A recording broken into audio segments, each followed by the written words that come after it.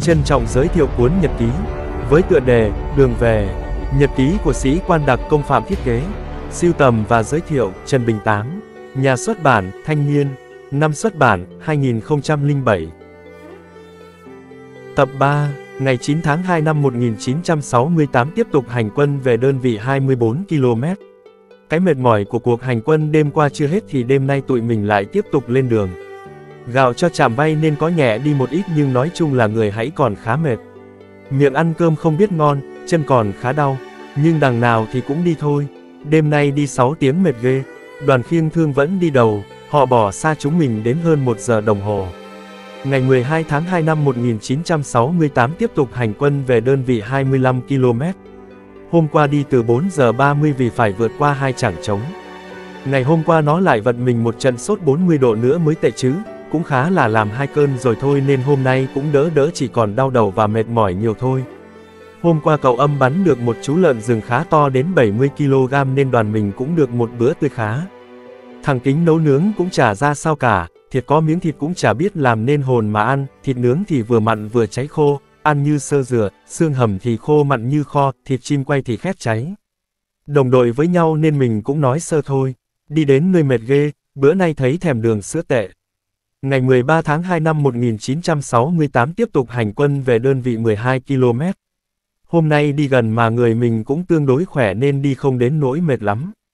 Hôm qua đi qua cái chợ miên, thôi thì họ bán đủ thứ, đài, đèn pin, nước hoa, đồng hồ, bút máy, thuốc lá, bánh kẹo, trẻ đi thấy bánh kẹo họ để thèm cúa nhưng đành nhìn lơ nuốt nước miếng mà đi vì trong túi một xu không có. Đoàn đội được một ít tiền mua được ít bắp cải phát cho các phân đội, làm được bữa canh, lâu ngày được ăn bữa canh cải bắp lính ta khen lấy khen để. Trên đường đi hôm nay qua một khu vực, B52 đánh hơn một tiếng đồng hồ, vết xích xe tăng trong trận càn mới đây còn rất mới, cây cối đổ gãy ngổn ngang, cái ác liệt của chiến tranh đã hiện ra trước mắt, tất cả những cái đó đã thúc giục cán bộ nhà ta nhanh bước hơn, các cậu bị ốm cũng không một cậu nào tụt lại sau cả. Đây là cái rìa ngoài của tiền phương rồi đây. Ngày 14 tháng 2 năm 1968 tiếp tục về đơn vị 35 km. Đêm nay là đêm cuối cùng của con đường hành quân nhận nhiệm vụ, cũng là đêm có nhiều gai gâu gian khổ vất và nguy hiểm đây. Hôm nay đoàn mình không theo đường giao liên nữa mà đi theo đường tắt để trở về đơn vị, như vậy sẽ được gần hơn một ngày. Cái náo nước muốn về đơn vị như tiếp sức, như thôi thúc cả đoàn hãy cố gắng hơn lên, chẳng thế mà các cậu đang ốm không ăn được cơm, giấy tờ để gửi đi viện đã làm xong mà chiều nay cũng nhất quyết ra đi như cậu Miên, Khơn, Phan. Đoàn mình xuất phát lúc 16 giờ đi được 2 tiếng thì bắt đầu đi theo đường ô tô cho đến ngã suối Bà Chiêm, nơi mà cách đây gần một tuần quân Mỹ đóng chốt thì rẽ theo đường Lệ Xuân, đi được chừng 15 phút đột nhiên phía trước có tiếng súng nổ liên tiếp 4,5 phát liền cả phát một và liên thanh. Chẳng rõ địch ta, hơn nữa đoạn đường này hay có biệt kích thế là quyết định quay trở lại trạm. Vừa quay lại được nửa giờ thì gặp 6 ô tô giải phóng chờ đạn, trước tình hình đó họ cũng đành phải quay lại. Đoàn mình tiếp tục lui đến đoạn đường rẽ thì dừng lại. Cũng lúc này lại gặp hai tay xe đạp đi từ hướng súng nổ xuống, hỏi ra thì họ bảo đường không có gì, đi được, hỏi có phải họ bắn không thì họ không nhận. Thiệt là gay, bây giờ nếu qua trở lại chạm mất 2 tiếng đồng hồ nữa mà ngày mai cũng chưa đi được, lương thực thực phẩm thì sắp hết, đi theo đường giao liên thì xa hơn một ngày. Nếu tiếp tục đi thì có phần nguy hiểm vì chưa rõ địch rõ ta, mà lại là nơi địch vừa mới rút, đường đi thì trống trải, dấu vết bom đạn hai bên đường vẫn còn mới nguyên. Tất cả những điều đó đặt ra một câu hỏi tiến hay lui. Qua suy nghĩ cân nhắc, đoàn quyết định tiếp tục đi nhưng phải tổ chức bộ phận đi trước trinh sát và chốt những nơi nghi ngờ. 21 giờ kém 15 đoàn lại tiếp tục lên đường, như thế coi như là cúng cho quỷ thần gần 3 tiếng đồng hồ. Hôm nay anh em đi khá tốt kể cả các đồng chí đang yếu mệt, không có một đồng chí nào rớt lại đằng sau cả. Đoàn mình đến căn cứ lúc 3 giờ ngày 15 tháng 2. Như vậy là đêm nay chúng mình hành quân 14 tiếng đồng hồ. Nói chung là anh em vẫn vui vẻ và hết sức cố gắng nhưng có một số ít cậu kêu ca phản nàn.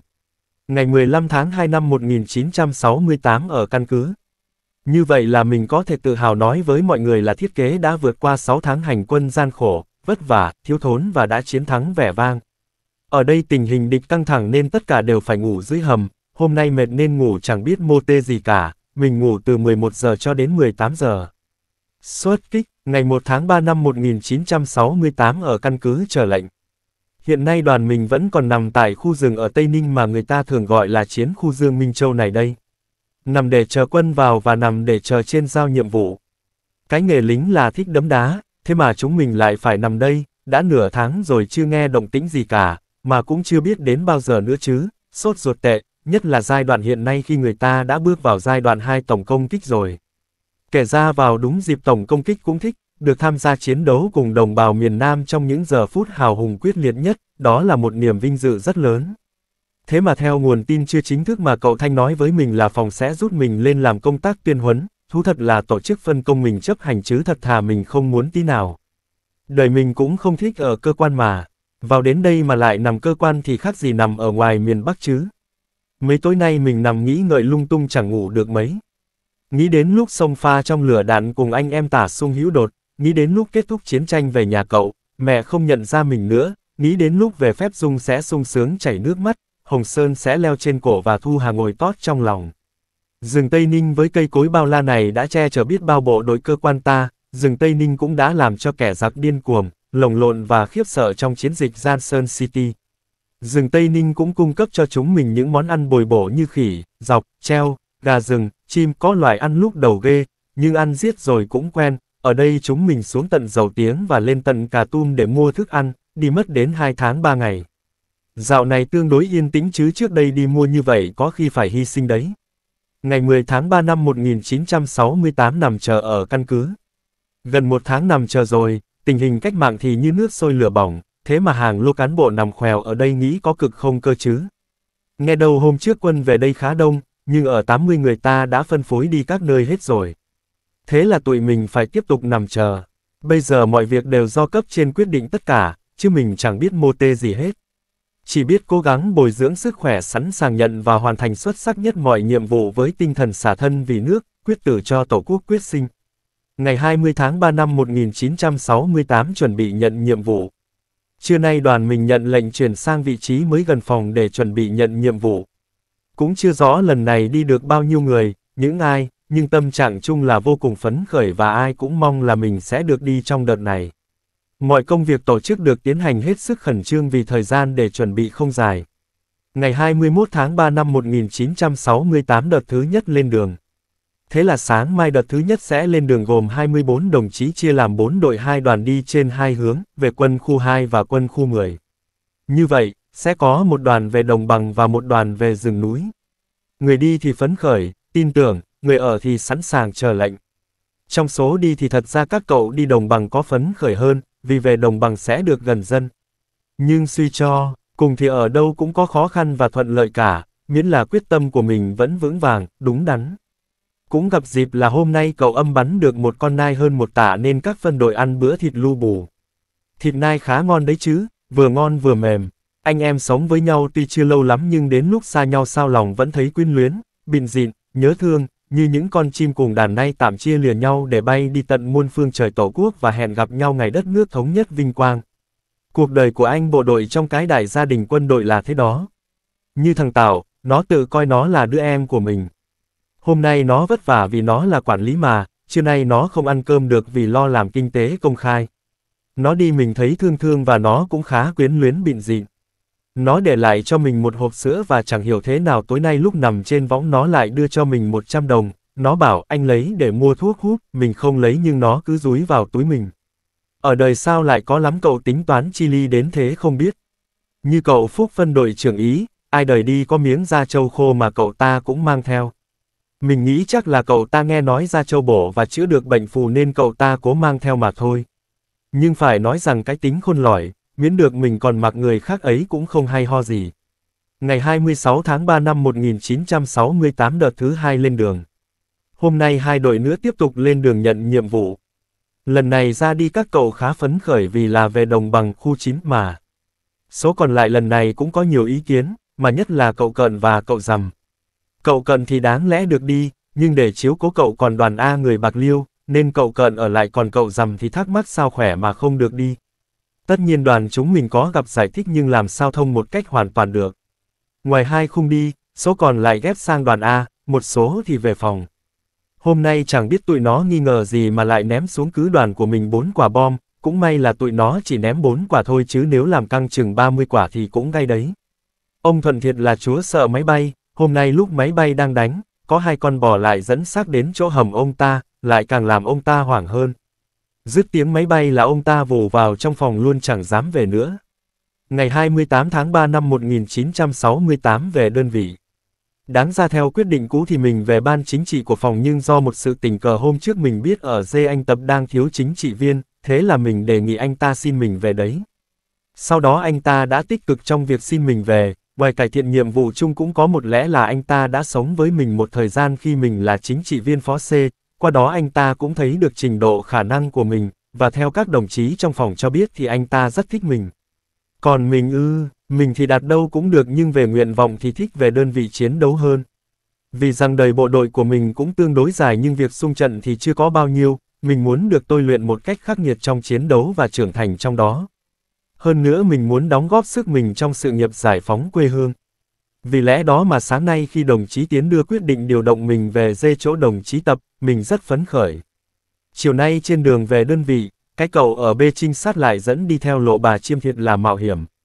Khi tụi mình đến cầu bà chiêm thì có trực thăng, hai bên trống hoang chẳng có chỗ ẩn thân, thế là tụi mình chạy thục mạng lên đầu dốc, thiệt chạy không kịp thở. Hôm nay máy bay tụi nó lại bay suốt ngày nữa chứ. Mình về đội 12, cậu Nguyễn Thanh Lan đội trưởng, quê cậu ta ở Nghệ An, trước đây từng học khóa 12 trường lục quân với mình, rồi cùng về cứ 305 với nhau và bây giờ cùng sống với nhau trong một đội. Kể ra hiểu, biết nhau rồi giờ sống với nhau cũng có nhiều thuận lợi chứ. Như thế là ở dê và ở đội mình cũng không phải xa lạ lắm. Còn anh em thì hoàn toàn người miền Bắc, trẻ khỏe và hăng hái, có quyết tâm tốt. Qua hành quân không đồng chí nào tỏ ra dao động. Một đơn vị như thế có lẽ gì mình không phấn khởi được, lẽ gì không tin tưởng chứ. Trách nhiệm mà đảng giao cho mình là giáo dục, lãnh đạo, huấn luyện họ và đưa họ vào chiến đấu thắng lợi. Đấy là những mặt tốt, mặt thuận lợi, bên cạnh đấy, cũng còn những mặt yếu mà phải tích cực khắc phục như đoàn kết nội bộ, làm việc đều tay.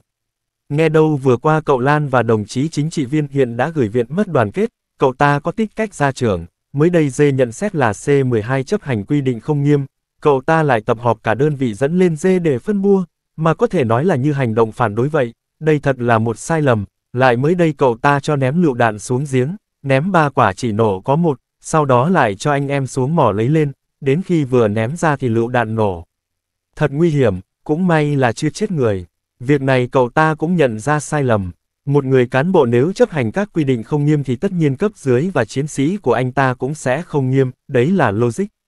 Tinh thần đơn vị nói chung tốt, phấn khởi, sẵn sàng nhận nhiệm vụ. Đây mới là nhận xét buổi đầu thôi. Mình và cậu Lan cũng rất phấn khởi, tin tưởng, điều đó cũng dễ hiểu, vì mình là một chính trị viên, dù sao cũng đã có ít nhiều kinh nghiệm. Còn cậu ta hiện nay đang ốm yếu, người gầy gò tợn. Vấn đề trước hết đối với mình hiện nay là xây dựng đoàn kết nội bộ mà nhất là cán bộ. Nâng cao tinh thần trách nhiệm của mỗi người đối với đơn vị. Thường xuyên củng cố quyết tâm cho đơn vị. Ngày 9 tháng 3 năm 1968 trận mưa đầu mùa. Không biết hôm nay có phải là những ngày bắt đầu mùa mưa không? Hôm nay mới là trận đầu tiên mà đã gây cho tụi mình khá nhiều vất vả. Cái hầm mà mình nằm với cậu Lan thôi thì nước chảy tứ bề, lòng hầm thành một cái bể nước cạn. Nhưng nỗi lo nhiều nhất đối với một người chính trị viên như mình là vấn đề an toàn của tính mệnh anh em, mình lo cho số anh em nằm những chiếc hầm sụt lở mong manh ở các phân đội. Trời mưa chưa tạnh hẳn mình đã cùng cậu liên lạc đi kiểm tra các phân đội ngay. Tối nay mình ngủ an giấc vì hầm trong toàn đội an toàn. Mình rất sợ xảy ra tổn thất khi chưa bước vào chiến đấu như trường hợp C33 tập B40 làm nổ xảy ra hy sinh. Ngày 10 tháng 3 năm 1968 ý kiến một cán bộ. Trong buổi hội ý chiều nay, cậu Mick phân đội phó phân đội một đề nghị trả cậu thành cho đại đội vì cậu ta yếu quá. Mình hỏi trả để đội làm gì thì cậu ta nói đó là ý kiến của anh em chứ không phải cậu ta. Một cán bộ mà chỉ thấy anh em nói sao thì mình nói vậy thì còn gì là vai trò lãnh đạo của người cán bộ nữa. Anh em phát biểu một vấn đề như thế mà không nghiên cứu giải thích gì cả thì thật là sai lầm.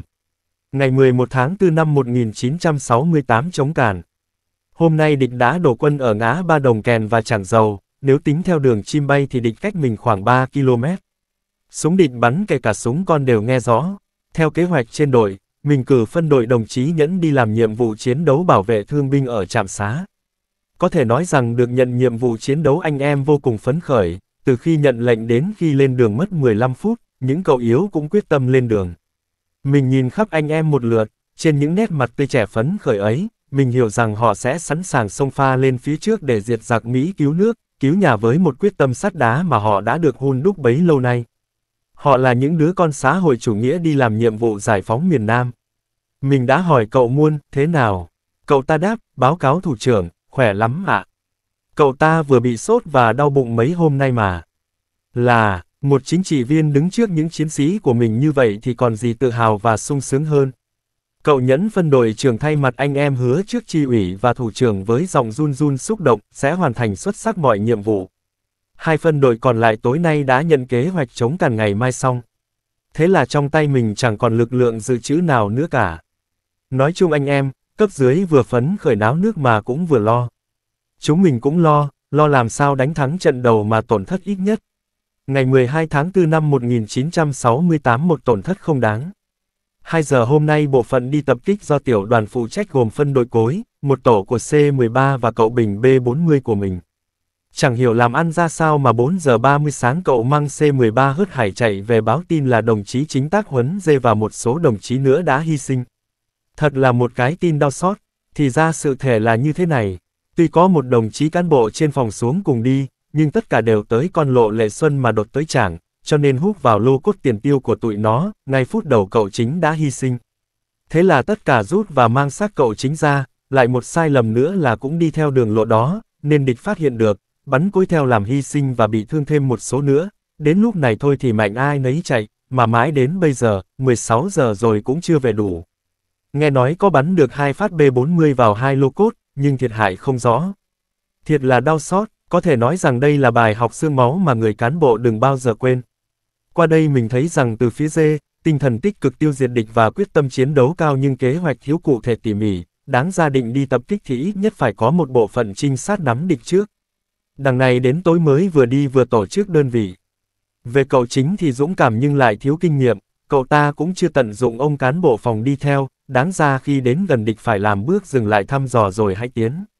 Còn anh em dưới thì dũng cảm nhưng ngờ ngạch, thật là đau buồn cho toàn đoàn, đây là lần đầu xuất trận, tuy là một bộ phận nhỏ nhưng với binh chủng này thì đâu có ít.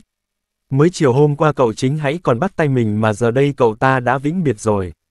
Là người chính trị viên, đây cũng là vấn đề đề ra trong yêu cầu lãnh đạo tới.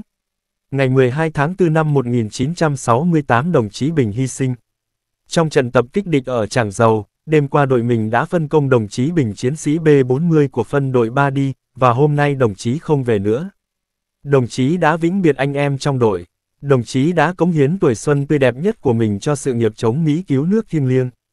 Đồng chí ngã xuống nơi đây trên mảnh đất Tây Ninh rực lửa chiến đấu này để cho đàn em thơ được tung tăng ca hát, để các mẹ các chị không phải quấn những chiếc khăn tang trên những mái tóc xanh. Tổ quốc sẽ ghi công đồng chí, nhân dân sẽ đời đời nhớ ơn đồng chí. Trong cuộc chiến đấu sinh tử này, tổn thất là một điều dĩ nhiên. Chúng tôi, những người còn sống nguyện sẽ noi gương đồng chí, quyết trả thù cho đồng chí. Chúng tôi xin vĩnh biệt đồng chí, người con vinh quang của Tổ quốc Việt Nam anh hùng. Ngày 23 tháng 4 năm 1968 ra đi. 23 giờ đêm hôm qua đơn vị mình rời căn cứ đi làm nhiệm vụ. Một không khí phấn khởi sôi nổi tràn ngập đơn vị. Nhiều anh em ốm cũng nặng nặc đòi đi không chịu ở nhà như cậu Muôn, cậu Hòa đang sốt không ăn được cũng kiên quyết đi. Trước những nhiệt tình hăng hái đó, làm người chính trị viên không vui sao được. Thế nhưng cũng có những cậu tỏ ra do dự như cậu Lễ, kể ra thì cậu ta có sốt nhưng so với cậu khác thì sức khỏe cậu ta chưa đến nỗi gì, thế mà cậu ta lại không dám đi. Thiệt hèn, có thể nói rằng cuộc hành quân hôm nay căng thẳng nhất từ trước đến nay. Chỉ trừ 2 tiếng nghỉ ăn cơm còn 20 tiếng đồng hồ đi liên tục. Phải nói rằng anh em rất cố gắng, hầu hết đều đau chân, các đồng chí ốm cũng bám sát đơn vị. Cái đôi chân mà trước đây mình rất tự hào thế mà hôm nay cũng ốm, nó rát, nó tức một cách khó chịu, nhưng đấy là việc của nó, còn mình chỉ có một việc là tiến lên. Hôm nay mình nhận thấy sức khỏe có phần giảm sút. Đêm nay khi bước chân sang đất Campuchia, một không khí hòa bình tràn ngập tâm hồn mình. Tiếng trẻ nô đùa trong sân nhỏ, tiếng trò chuyện dâm ran quanh ấm chè trong những căn nhà, ngọn đèn dầu dịu dịu. Tất cả, tất cả những cái đó len vào tâm hồn mình như một luồng gió mát dịu ngọt. Mình bước đi mà lòng tưởng nhớ đến quê hương đất nước còn đang chiến tranh. Lũ giặc Mỹ đã gieo rắc biết bao đau thương trên đất nước ta. Càng nghĩ càng sục sôi căm giận và bước chân càng rắn chắc, càng nhanh hơn. Ta ra đi để giết giặc xâm lăng trả thù nhà, đền nợ nước. Ngày 24 tháng 4 năm 2968. Đơn vị mình tiếp tục lên đường ra mặt trận, đêm nay đi 10 tiếng. Cái chân vẫn khá đau, tình hình sức khỏe đơn vị có phần giảm sút. Hôm nay giao liên dẫn đường, ngày 25 đến 28 tháng 4 năm 1968. Mấy đêm nay vẫn tiếp tục hành quân, đêm nào cũng đi từ 17 giờ đến 5-6 giờ sáng. Sức khỏe anh em kể cả mình đều thấm mệt nhưng được cái anh em rất cố gắng. Như cậu nhẫn bong gân và phồng chân vẫn bám sát động viên phân đội, cậu tưởng vấp toạc móng chân vẫn không một tiếng kêu ca, cậu muôn ngã từ trên cầu xuống vẫn tiếp tục đi. Có thể nói tinh thần anh em không chê vào đâu được. Thế nhưng trong cán bộ nhất là cán bộ phân đội lại yếu.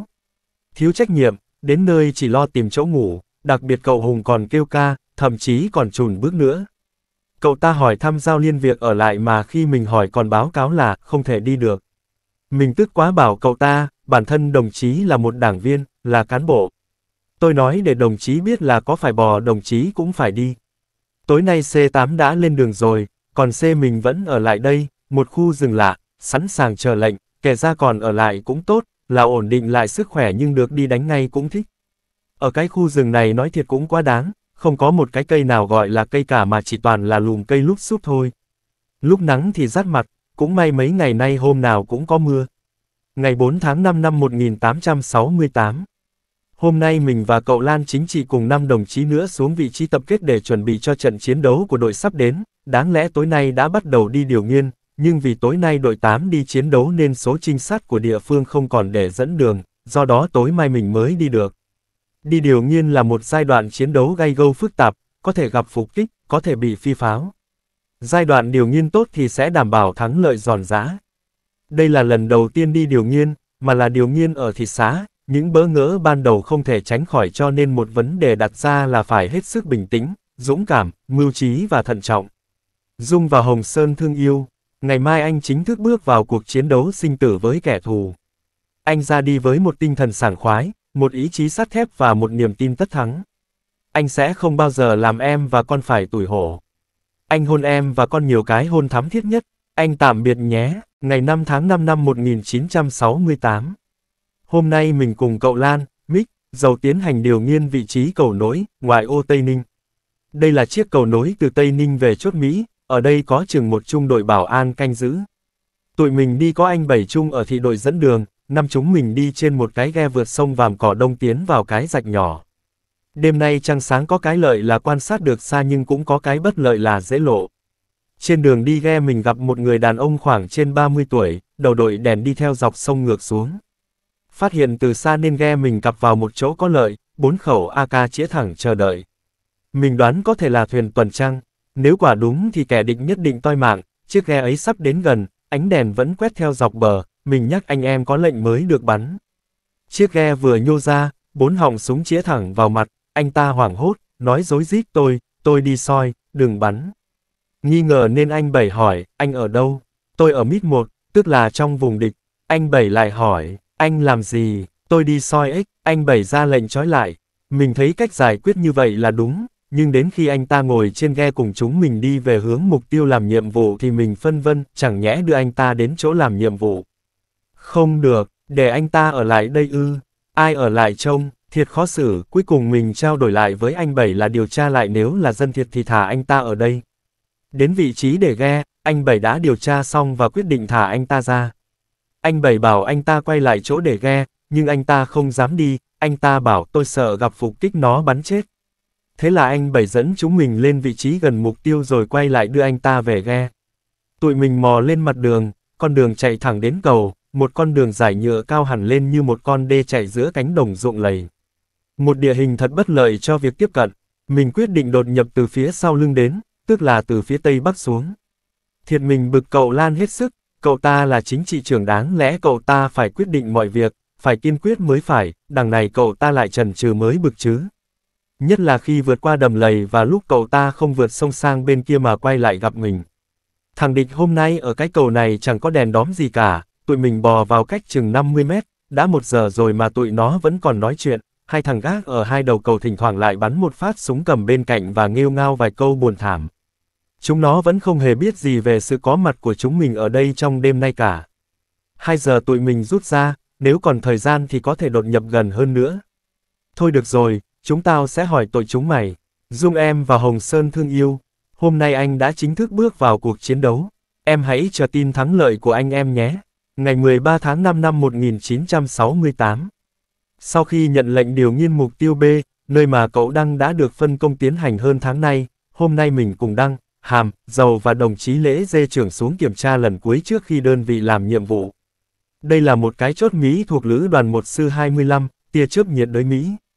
Đã lâu rồi mình chỉ được nghe người ta kể hoặc hình dung qua những sơ đồ. Nhưng bây giờ thì chính mắt mình đã thấy và chính mình đang đi vào cái chốt ấy. Đây là một cái chốt đóng đã lâu, có hệ thống phòng ngự kiên cố và chưa bị đánh lớn lần nào. Bên ngoài là hai hàng điện sáng choang dài hàng cây số, có bốn lớp hàng rào dây thép gai sen với mìn, có hệ thống lô cốt bê tông cốt sắt và lô cốt giã chiến chất bao cát, và trong nữa là pháo, là xe tăng, là sân bay, là nhà cửa với một khu đất rộng khoảng 3 km x 1,5 km. Toàn bộ chốt như một cái nghĩa địa ghê tởm mà trong đó là những thằng Mỹ tàn bạo đang chui giúp để tránh pháo ta như một bầy bỏ hung. Mình cùng, cậu hàm chui qua hàng rào bùng nhùng ngoài cùng, bỏ qua những đám cỏ lau rồi tiếp tục chui qua hai hàng rào mái nhà, thấy ở giữa có ba lớp bùng nhùng, bỏ qua một quán đất chống tiến sát vào hàng rào thứ ba rồi quan sát nghe ngóng bên trong. Phía trong, quân địch hoạt động ồn ào, ở chiếc lô cốt trách phía trái có bóng hai thằng địch đi đi lại lại, thỉnh thoảng hút thuốc lá. Kế hoạch điều nghiên như vậy là đủ, 22 giờ 30 mình quay ra và trở về căn cứ. Ngày 14 tháng 5 năm 1968. 5 giờ sáng nay đơn vị hành quân đến, trời mưa, vị trí ở trận nên khá vất vả. Mình cùng cậu Lan lên dây nhận lệnh là tối nay tấn công vào điểm B, trên phối thuộc cho mình 12 đồng chí ở C114 nào đó của Tây Ninh. Cùng đánh với mình có C8, có pháo kích vào cao xạ và có D. KAP, anh em trong đội đều quyết tâm cao, nguyện vọng mong được chiến đấu đến nay được thực hiện, cho nên không khí phấn khởi tin tưởng bao trùm trong toàn đội. Nhưng khó khăn cũng không ít, vũ khí thuốc nổ thiếu, mình dự trù mỗi thủ pháo được ít nhất cũng 6 quả thì nay có đồng chí chỉ được 2, 3 hoặc 4 quả. Thời gian tiến hành công tác chính trị thì không có cho nên không họp được chi bộ, chi đoàn mà đấy là điều làm mình phân vân, suy nghĩ nhiều nhất. Để chấp hành nghiêm chỉnh lệnh tấn công với vũ khí có gì đánh đấy, thời gian ít thì chuẩn bị khẩn trương. Thế rồi mọi việc cũng tạm ổn định. Đội mình đảm nhiệm tấn công trên hướng chủ yếu bằng hai mũi và mình đảm nhiệm mũi chủ yếu. Thật là một trọng trách nặng nề. 17 giờ đơn vị xuất phát trong khí thế tin tưởng vào chiến thắng. Nắng chiều đã dịu dịu, rừng cây im lặng như cố gắng lắng nghe bước chân đoàn chiến sĩ lên đường giết giặc. Đúng kế hoạch, vượt qua suối thì trời tối, đơn vị vẫn tiếp tục tiến sâu vào chốt địch. Trước mặt, ánh đèn đã hiện rõ thô lố như những cặp mắt sợ hãi, phía bên phải bút cao xá thỉnh thoảng lại bắn vài loạt vu vơ như con chó sủa trong bóng đêm vậy. Đơn vị vẫn lặng lẽ nhằm thẳng cái chốt Mỹ tiến tới. Vị trí tập kết cuối cùng đây rồi, đơn vị cũng không dừng lại ở đây lâu, theo kế hoạch các mũi tiến vào vị trí chiếm lĩnh. Mọi vật vẫn im lặng, một không khí im lặng nặng nề. Mình đưa toàn mũi vừa tiếp cận sát hàng rào thứ nhất thì ở góc hàng rào bên phải một quả mìn sáng phụt lên sáng rực cách chừng 70 mét, chắc là một chú chuột nào đó trong lúc vội vàng đã chạy vướng dây mìn, thiệt nó vô ý quá, nó chẳng hiểu rằng có chúng mình ở đây. Tất cả đều nằm im lặng chờ đợi sự phản ứng của địch, một phút, hai phút, rồi ba phút trôi qua những tia sáng cuối cùng đã tắt hẳn mà thằng địch vẫn không động tĩnh gì. Mình dẫn cả tổ cắt thép gai vào vị trí, cái vị trí này cũng không đúng là vị trí đã điều nghiên nhưng mình vẫn tiến hành mở tại đây. Tổ cắt thép gai theo lệnh mình đã bắt đầu cắt, vừa đưa chiếc kéo vào cắt dây thứ nhất thì cậu cầu tổ trưởng báo cáo, báo có kéo bị gãy. Thiệt như một tin xét đánh, mình sừng sốt thốt lên, thôi các anh giết tôi rồi. Thế là hết, hoàn toàn bó tay, còn gì nữa, toàn mũi chỉ trông vào việc cắt các hàng rào là xông lên hoàn thành nhiệm vụ. Bây giờ làm thế nào để vượt qua các hàng rào này? Bộc phá không có, dùng thủ pháo dù ư, liệu có phá được không? Chống chui ư, liệu trang bị như vậy có chống chui được không, mà nếu chui vào thì lúc ra sẽ bằng cách nào? Bao nhiêu câu hỏi đặt ra trong óc, tất cả đều xung quanh một ý nghĩ là làm sao hoàn thành nhiệm vụ, mũi mình lại là mũi chủ yếu có trách nhiệm phát lệnh cho toàn trận đánh, làm sao để chia lửa cùng mũi hai. Mình tức đến lộn ruột, mình ném mạnh chiếc mũ ngụy trang xuống dưới đất, bất chấp cái lô cốt một bên, mình phê bình tổ cắt thép gai, phê bình cậu hàm các anh làm ăn như vậy đó hả, các anh chuẩn bị cái gì, bây giờ làm thế nào? Ngoặc kép chấm, mình quyết định cho đội hình lui ra chờ, cho cậu cư về báo cáo dê và cậu hàm liên lạc với mũi hai. Lệnh dê sang là phải dùng biện pháp chống chui để vào đánh và sẽ ra phía cổng. Làm sao thực hiện lệnh đó, mình nhận thấy khó khăn quá, lúc này là 22 giờ 30 rồi, chỉ còn một tiếng rưỡi nữa là đến giờ nổ súng, liệu vào bị lộ sẽ thế nào? Liệu ra đường cổng có bảo toàn không và mình nhận thấy thực hiện theo lệnh đó hy sinh sẽ không lường được. Mình quyết định họp tổ đảng. Mình nêu lệnh của dê và ý kiến của mình là dùng tổ ba chui vào đánh. Nhiều ý kiến phát biểu đều thấy rằng vào có thể được nhưng ra không được và đi đến quyết định là dùng hỏa lực B-40 tiêu diệt lô cốt và bắn vào trong doanh trại. Kế hoạch được tiến hành triển khai gấp rút, mình dẫn hai tổ B-40 lên vị trí chỉ mục tiêu. Đúng không giờ lệnh phát hỏa bắt đầu, địch tập trung bắn ra khu vực chúng mình khá mạnh, quy định bắn mỗi đồng chí 5 quả, nhưng có cậu mới bắn có hai quả đã bỏ chạy, cái cậu C114 chạy bỏ cả giá đạn lại mới bực chứ. Sau mấy phút nổ súng mình vẫn không thấy các mũi động tĩnh gì cả. Thiệt là khó hiểu và kẻ địch đã bắt đầu phản ứng lại, trực thăng chiến đấu, pháo bắn giải rác khắp nơi. Sau 40 phút thì nhận được lệnh rút lui từ chỉ huy sở dê.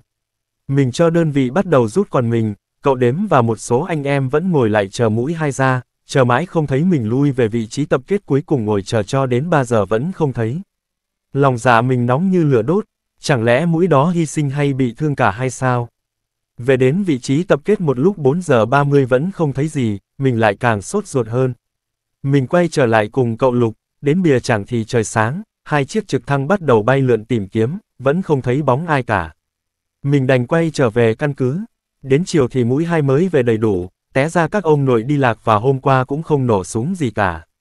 Chiều nay 15 tháng 5, chẳng biết do dân công hay do mình làm lộ mà hai chiếc trực thăng đến quần bắn, tiếp đến là pháo và sau cùng là hai chiếc T-28 đến oanh tạc, cũng may là không cậu nào việc gì, đạn pháo có quả rơi cách hầm chừng có 5 mét. Các phân đội chạy tán loạn, chẳng là tại hầm đào cạn quá, hôm nay cũng là một bài học thực tế cho cán bộ chiến sĩ đây. Thế là kết thúc trận đánh mà đơn vị không bị thiệt hại gì, nhưng cũng không phấn khởi gì. Chiều nay đơn vị chuyển về căn cứ, ngày 16 tháng 5 năm 1968. Hôm nay ngồi rút kinh nghiệm trận đánh, nói là trận đánh thì cũng chưa thật đúng, thực ra đây chỉ là một cuộc tập dượt, đưa quân vào rồi lại đưa ra an toàn. Mình phát biểu trước anh em, nghiêm khắc nhận những khuyết điểm sai lầm vừa qua, trong đó nổi bật là tư tưởng trần trừ do dự, sợ tổn thất, thiếu quyết đoán. Đáng lẽ họp tổ đảng là để chấp hành nghị quyết trên, đằng này lại quyết nghị ngược lại. Thiệt là mình đâu có sợ chết nhưng mình lo lắng đến sự tổn thất của đơn vị do mình phụ trách. Chính vì lẽ đó mà hôm nay mình phải ngồi kiểm điểm với nhau. Mình nghiêm khắc phê phán đồng chí Đăng, mũi trưởng mũi hai, trong lúc đã cắt xong ba hàng rào rồi mà không xông vào đánh, lại bí mật rút lui. Nếu như lúc đó mũi mình chui vào đánh mà bên đó lại rút ra thì tác hại sẽ đến mức nào. Trận đầu xuất quân như thế đó, thiệt là một nỗi nhục. Mình nói trước anh em cũng là nói với lòng mình, thôi thì thua keo này ta bày keo khác, chúng ta lại quyết đánh chàng lớn để rửa nhục này, anh em tán thành với mình như vậy. Ngày 17 tháng 5 năm 1968 Qua việc không hoàn thành nhiệm vụ, cấp trên đã nhận xét, đây là trận đầu đối với các đồng chí nên không thi hành kỷ luật, nếu là đơn vị đã chiến đấu rồi thì đây là một kỷ luật nặng. Bây giờ trên giao nhiệm vụ cho đơn vị các đồng chí là tiếp tục đánh chẳng lớn. Phải nói rằng cấp trên rất thông cảm với chúng ta, quan tâm dìu dắt để chúng ta trưởng thành. Mình thầm nhủ trong lòng, lần này phải cố gắng chiến đấu thật tốt để xứng đáng với lòng tin cậy và sự mong đợi. Của cấp trên, ngày 18 tháng 5 trừ 1968. Hôm nay mình và một số cán bộ trong dê tiếp tục xuống điều nghiên trảng lớn chuẩn bị cho đơn vị làm nhiệm vụ. Tối nay, mình cùng cậu Lan, đang tiếp tục đến điều nghiên ở hướng Tây Đông cũ. Mình dự kiến có thể địch đã tăng cường bố phòng hướng đó, mà cũng có thể là địch chủ quan cho ta là không tấn công vào hướng đó, thậm chí về phía mũi hai, địch cũng chưa biết là ta đã cắt ba hàng rào rồi. Hôm nay xuất phát từ cứ của xã Hảo Đức đi chết về phía bên trái chứ không theo đường cũ nữa, một con đường đi tắt tất nhiên là có gần hơn nhưng cũng lo là sẽ đi lạc. Hôm nay mình quyết định đến điều nghiên vị trí cậu hàm đã điều nghiên trước đây, cách mũi của cậu hàm chừng 100 mét. Ở đây không có hai hàng điện bên ngoài, có ba hàng dây thép gai gồm hai hàng bùng nhùng và một hàng rào ở giữa. Theo kế hoạch là đêm nay vào đến hàng rào thứ hai, nhưng chúng mình đã qua hết các lớp hàng rào và vào trong tuyến lô cốt tiền tiêu của địch. Ở đây việc ra vào tương đối thuận lợi.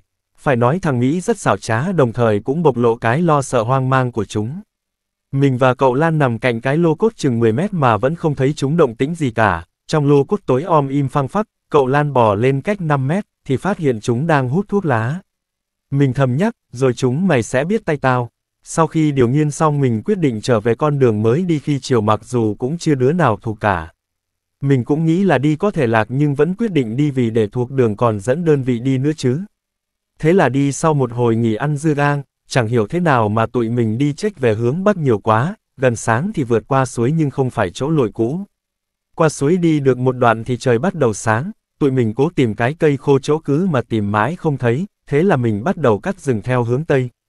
Cậu Lan và anh em vẫn ngồi ở bìa rừng còn mình trên vai mang một bọc dưa gang, rừng thì toàn gai, thiệt khổ hết chỗ nói, hai chân bị lá trang cắt đứt rát rạt, mình đi mãi một lúc chẳng biết thế nào lại quay lại chỗ cũ.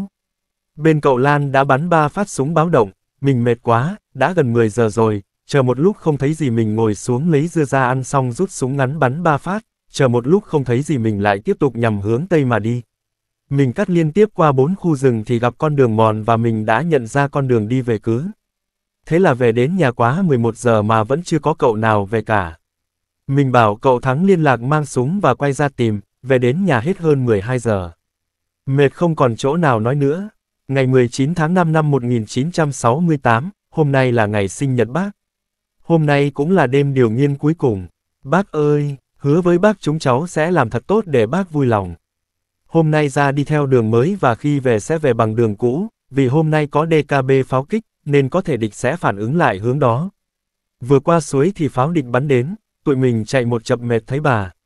Theo kế hoạch thì 8 giờ 30 tối DKB bắt đầu bắn, nên mặc dù đến sớm chúng mình vẫn ngồi ngoài vị trí tập kết, mình và cậu Lan vào ngồi gần hơn. Nghe tiếng DKB vừa ngước nhìn thì nó lại nổ ngay cạnh chúng mình, thế là mình với cậu Lan chạy tóe khói, bỏ cả dép và ni lông lại. Chờ đến 22 giờ không thấy bắn nữa chúng mình mới bắt đầu vào điều nghiên. Đến 1 giờ thì chúng mình rút ra trở về. Về đến ngang bốt cao xá lại bị cối bắn cách vài chục thước, tụi mình lại chạy. Về đến nhà lúc 5 giờ sáng, một cảnh hoang tàn hiện ra, cây lá đổ gãy tung tóe, cảnh vật yên lặng như báo một điều chẳng lành xảy ra. Thật không sai, ngay trên hầm thằng Thắng một quả đại bác nổ đã tiện đứt mấy cây, mình nhìn xuống hầm đã thấy một cậu hy sinh được bó trong tấm tăng. Mình lục trong quần rút ra chiếc ví và một chiếc khăn mùi xoa. Thôi đúng thằng Thắng rồi, khăn của nó đây. Một nỗi, đau buồn tràn đến tâm trí mình, mình thấy thương tiếc một liên lạc nhanh nhẹn, dũng cảm đã hy sinh.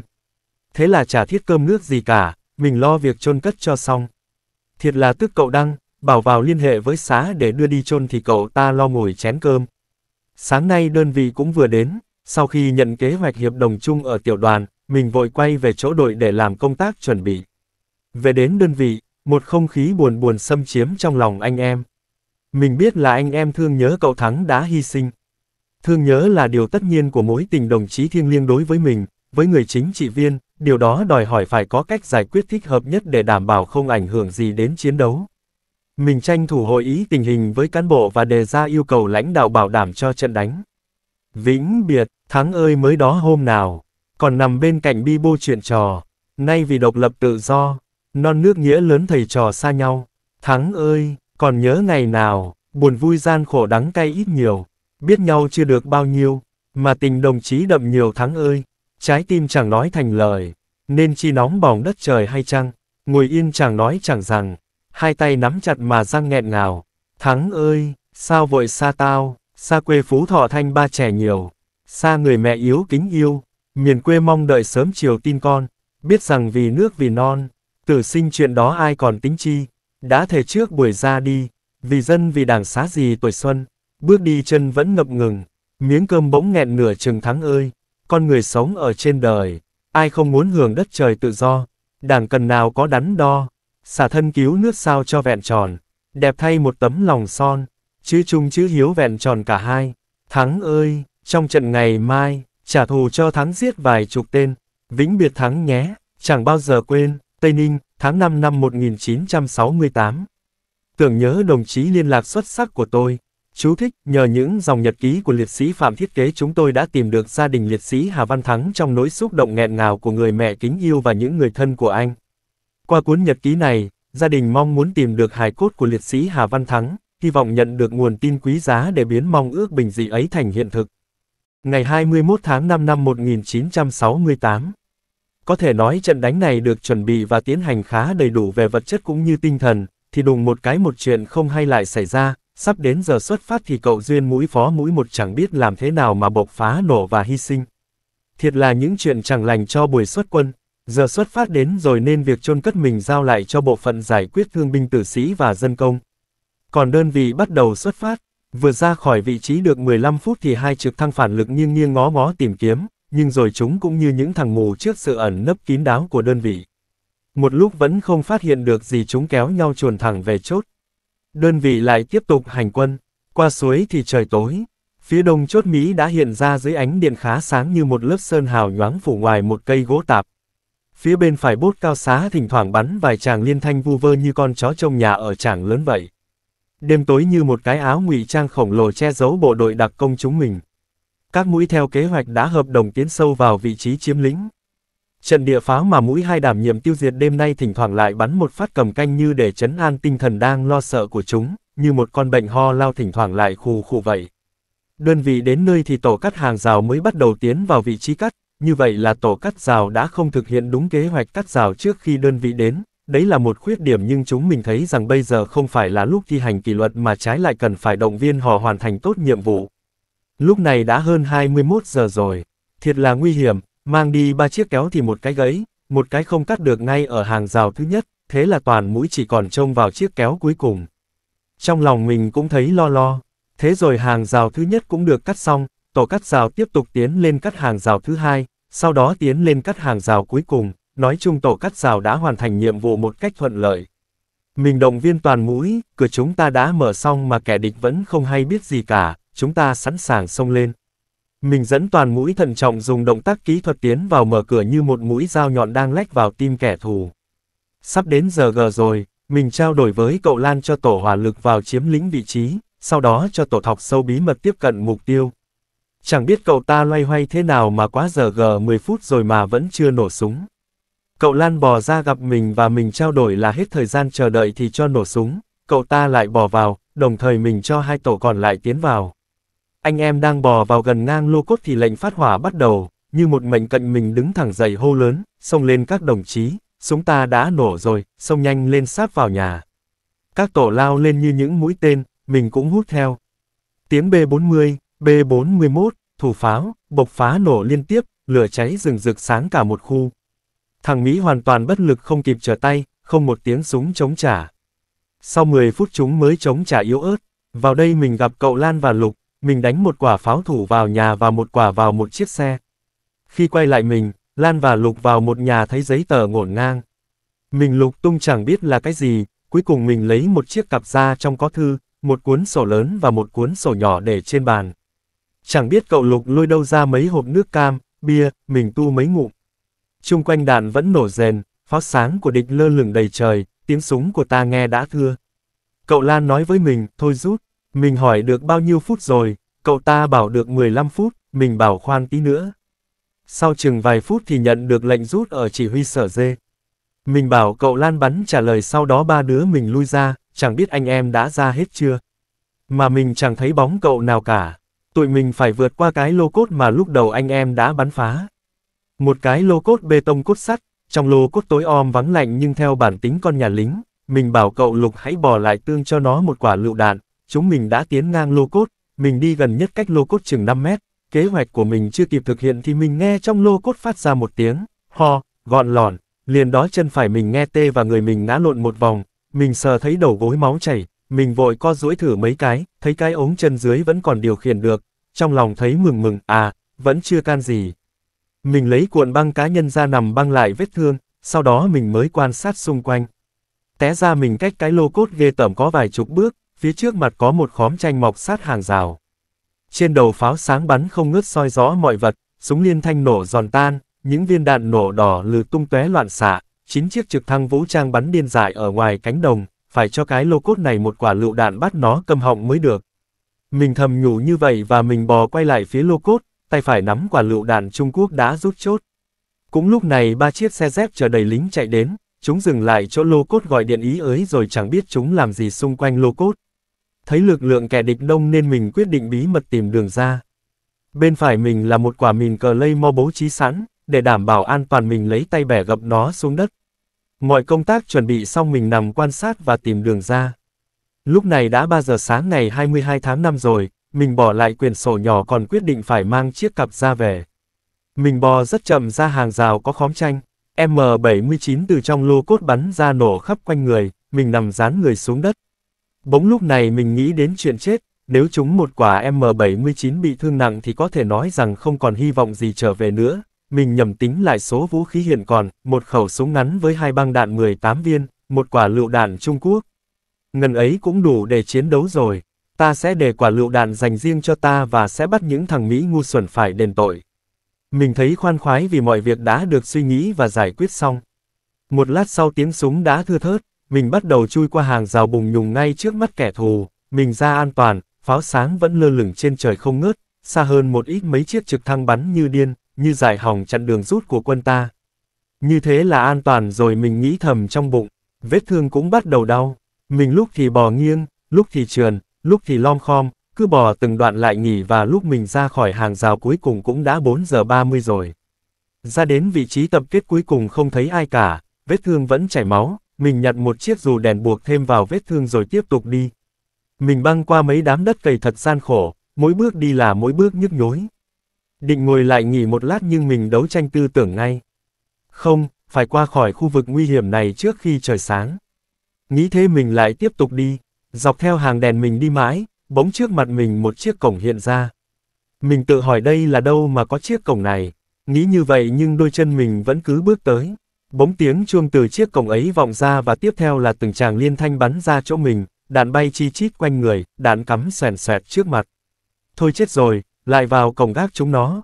Mình vội nằm xuống rồi lợi dụng địa hình đó đi vòng sang trái nhưng lại đụng hàng rào, mình đành phải quay trở lại đi về hướng Tây Bắc, vượt qua hai con lộ thì trời hửng sáng, chiếc cặp da vẫn ôm bên nách, mình khó nhọc bước từng bước nặng nề.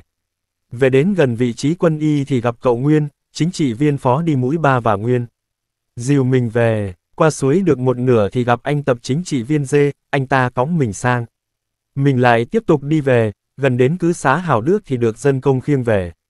Ngày 22 tháng 5 năm 1968. Hôm nay không nghe pháo mà cũng thấy máy bay, nằm trên chiếc võng do bốn dân công, hai nam hai nữ, Khi mình tuy chỉ đi có một đoạn chừng hai tiếng thôi nhưng tình cảm của họ đối với mình thật cảm động. Đường rừng quanh co chật hẹp nhưng họ đã thận trọng từng bước để không va phải. Lúc trời nắng thì nhường tất cả khăn để che cho mình. Tất cả những điều đó đã làm cho mình vô cùng xúc động ấm áp. Đến bến sông thì mình được chuyển xuống ghe máy và tạm chia tay họ. Nằm trong ghe máy lúc tỉnh lúc mê chẳng biết chạy qua những đâu, mình chỉ biết đến khi khiêng mình vào viện K77 thì trời đã tối. Họ đặt mình lên bàn mổ, một bác sĩ đứng tuổi xem vết thương của mình rồi bảo các y tá đang đứng quanh ông ta hãy rửa vết thương này rồi băng lại, vết thương này để làm sau. Cả bệnh viện xôn xao hẳn lên, các đồng chí phục vụ chạy đi chạy lại lăng xăng vì cùng với mình còn có ba thương binh nữa cũng cùng đánh ở tràng lớn. Đồng chí bác sĩ trực tiếp rửa và băng vết thương cho mình rồi sau đó họ khiêng mình xuống một cái lán và đặt mình nằm ở đấy. Vết thương sưng lên đau và nhức, mình nằm bẹp ở cái lán này chứ chẳng đi đâu được một bước. Đêm tối đã trở lại yên tĩnh, mình nằm giữa rừng đất Khmer này mà tâm trí đi khắp mọi nơi. Mình nghĩ đến cuộc chiến khốc liệt vừa qua, sao lúc đó mình không chọi cho cái lô cốt quái ác ấy một quả lựu đạn mà để nó bắn mình bị thương.